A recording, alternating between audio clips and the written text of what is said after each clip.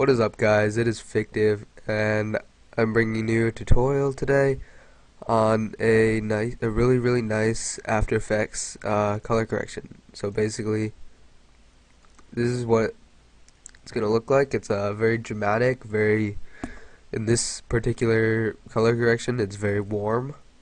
Uh, by the way, excuse me, I'm a little sick, so yeah, I don't. Alright, so first thing you want to do here let me just delete these. Alright so import your clip. Uh, I have it imported. Just place it in like you would any other thing. Uh, now what you're gonna do is oh you need to download the plugin called Magic Bullet Looks.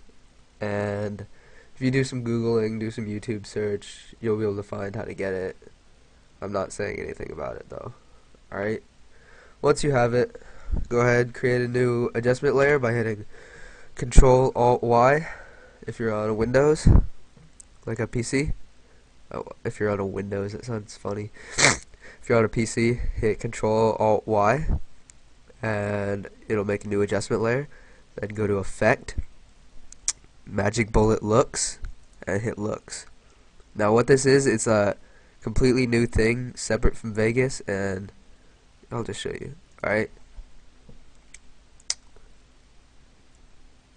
Okay, so this is what it gives you. And there's lots of things you can do with this. If you can if you go online, you can look for presets and you go to to load a preset, you hit open look file and then locate your preset. There are also presets in here that it comes with the program. Uh, but what we're gonna do is we're gonna make a our own little look, okay?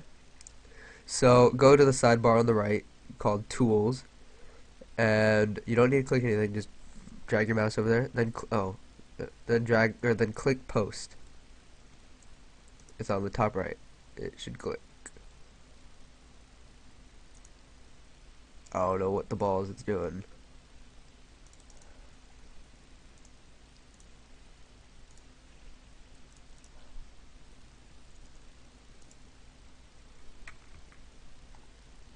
Uh,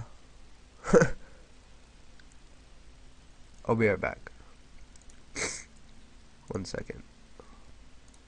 Okay, so go to post and scroll down to uh, lift gamma gain and drag that on.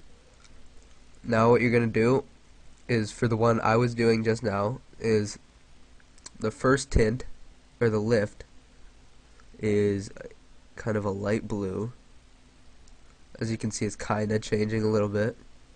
The second tint is a darker blue. You can definitely see that.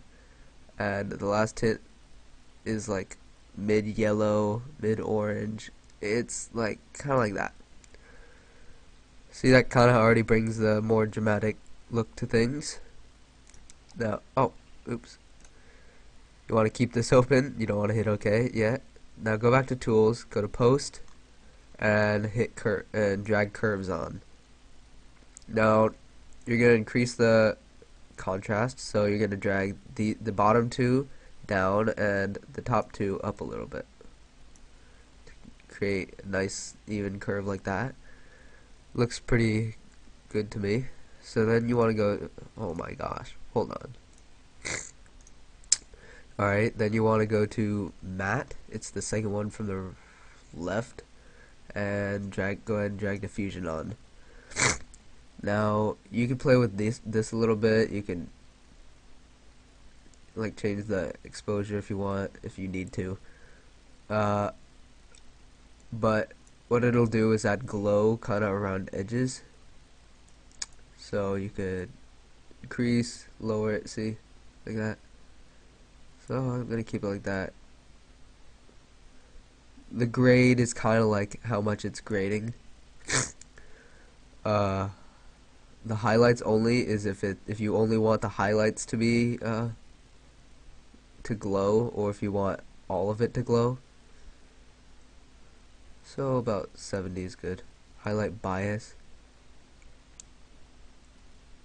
Don't you don't need to mess with that too much you can if you want. It does make a difference, but all right. Go ahead and go to lens, and then drag a uh, edge softness on. Now, what I like to do for this is you make the blur size a little bit smaller, just like that. See, I can see the uh, blurs around that. And you can, you don't have to change the quality. I don't recommend it actually. Then drag a vignette on, and for this I like to make it a really like bigger radius so it doesn't it doesn't cover too much of it. Uh, you can change all the rest of the settings. The fall off, it'll be like the more the fall off, the more it'll uh, I guess kind of come into the come into the picture. Uh, the strength is just how dark it will be. Exposure compensation, that's just changing the exposure to compensate for how dark it is. Uh, or how light it may be. Uh, I'll go ahead back to lens and drag an anamorphic flare. I like these, these are pretty cool. What you want to do is drag the threshold down so you can see the kind of the flare. Go ahead and turn on uh, reflection boost. Oh, so you see the flare. Yeah, you can already see the lines. So uh, what I'm gonna do is I don't like a blue flare, so I kind of wanna kind of want like an orange flare. That's pretty cool.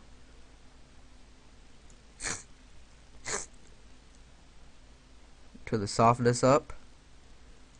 The boost will just mean is it's just how bright it will be. Uh, reflection boost is like the reflection. See how right here it's the uh, actual flare, this is the reflection. Uh, if this is zero, if the reflection boost is zero, then it will be the same exact uh, brightness as the original flare. But since the reflection, you don't want it to be that much, so change it to like negative two, negative three. That's fine. Uh, let's go back to gamma gain. I want to fix this a little bit. Yeah, that looks better.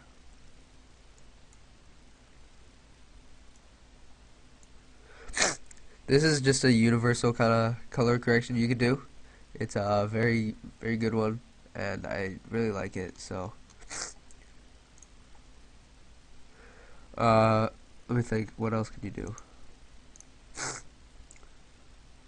There was something else.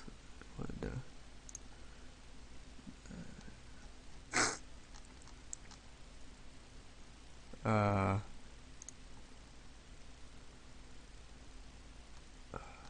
there's not much more you can do, I guess, unless you want to the uh like adjust the contrast and the, sat the saturation in this.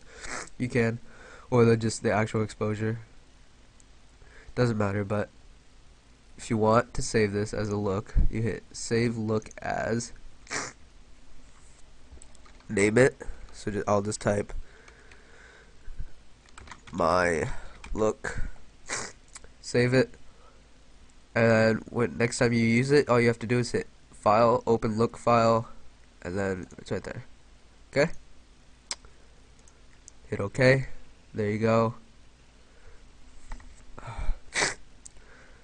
That is pretty much it. Uh, I'll see you in the next tutorial. This has been Fictive. Peace.